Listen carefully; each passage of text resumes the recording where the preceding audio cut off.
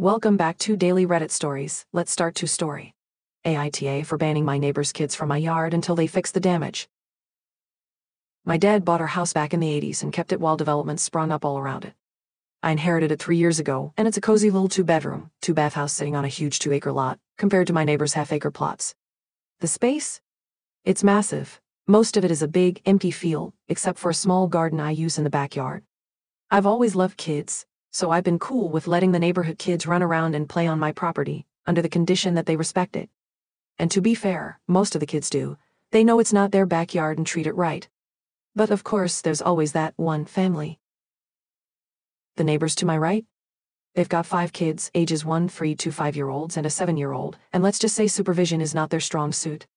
Usually, the 7 year old is left in charge, as much as a 7 year old can be, and while they don't come over to my yard too often unless there's a big soccer or baseball game going on, the chaos starts whenever they do. So, five days ago, I come home from work and surprise.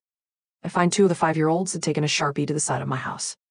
Their names, big and bold, were written on the wall along with some charming drawings. We're talking a man pooping, piles of poop, real artistic stuff. I wasn't thrilled but figured it was manageable. Sharpie's a pain, but not the end of the world. So, the next day, I head over to their parents, explain the situation, and ask them to cover the cost of the paint. Should have been a simple ask, right? It's like 20 bucks. But nah, they were offended, said I was lying, and that their precious kids would never do such a thing. Honestly, at this point, I was still ready to let it go. It's Sharpie. But then, later that day, one of their five-year-old boys thought it'd be funny to throw rocks at my house. Oraxa. Not tiny pebbles, full-on rocks that left dents in the siding and broke two windows.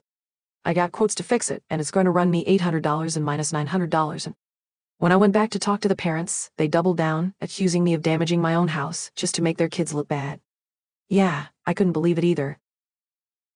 So, I put my foot down. I told them their kids aren't allowed to play in my yard anymore until they cover the damage. I mean, that seems fair, right? But the next morning, the kids come by like nothing happened, ready to play soccer with the other neighborhood kids.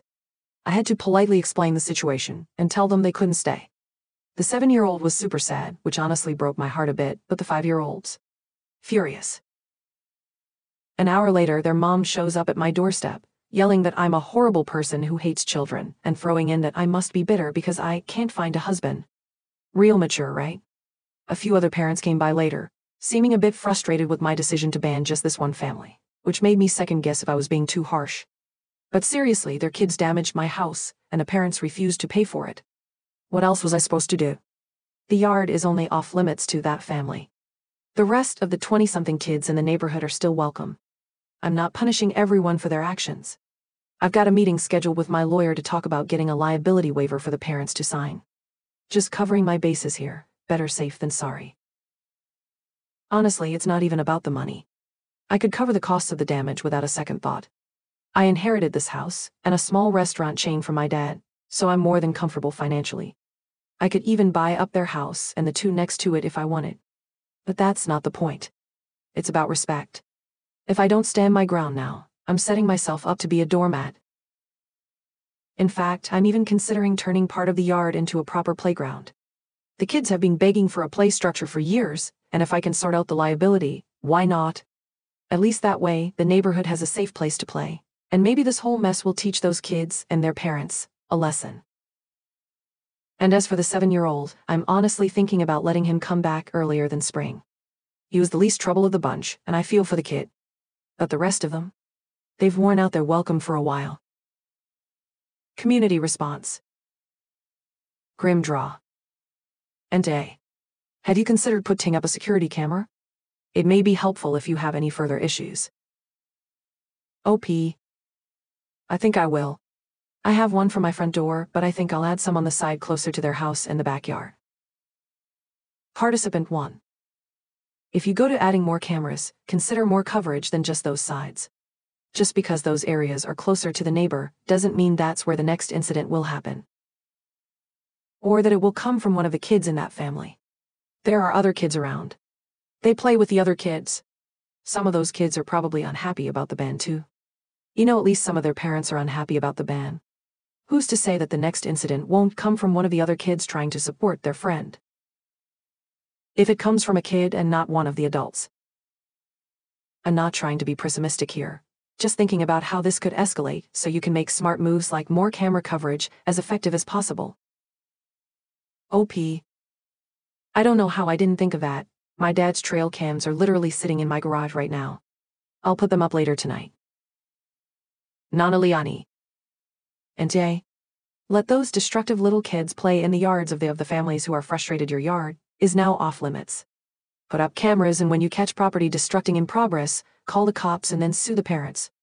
Even five-year-olds should know better than to do what those kids did. Poor kids, what inadequate parents they have. OP. To clarify the yard is only of limits to that specific family, the other 20-something kids on my street are still welcome.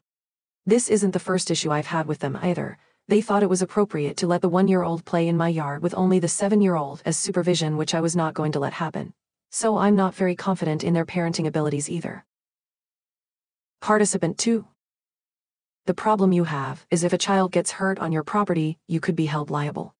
This might have been low risk until things escalated. OP. I might talk to my lawyer and see about getting the parents to sign some sort of liability waiver, but as it stands, it's been fine like this for three years and I'm willing to risk it. Participant free. NTA, but you need to be very careful. As someone else suggested, you need cameras desperately. There is no telling what can and will go on at any time while kids are playing on your property. If someone gets hurt, you get sued. Have the kids work off the damage by doing yard work, or have them clean and paint it themselves. With supervision but cameras, please. OP. It would be easier if the paint was the only issue, but after the rocks the kids definitely wouldn't be able to help with the repairs. I have to have the glass replaced on two windows, and if I want it back to its former glory, I'll have to replace some of the siding. I'm definitely going to put something up in the backyard, and maybe a camera on the side of the house closest to theirs. Participant free. Understood, and it's not so much them doing the actual work to fix it, but the action of doing any work to replace the cost. Set boundaries like, you do this work, and you can come back for X hours or days. Sounds like they need the structure for sure, but anything you do with them or their parents, make sure it's recorded. Is your property properly marked? If not, do so. OP. I have a row of bushes that go along the property line since I don't like the look of fences, and depending on how things go I might see about them doing some work in my garden come spring. Participant 4 but they are so young. This is the parents' fault. They should do your yard work, not their tiny children. You are too kind, and it will bite you. I'd stop all the kids playing for three months and tell everyone why. Classic school teacher move. Then waivers for all to sign. Thanks for watching till the end. Wishing you an awesome day. Feel free to drop a comment if you got more to share.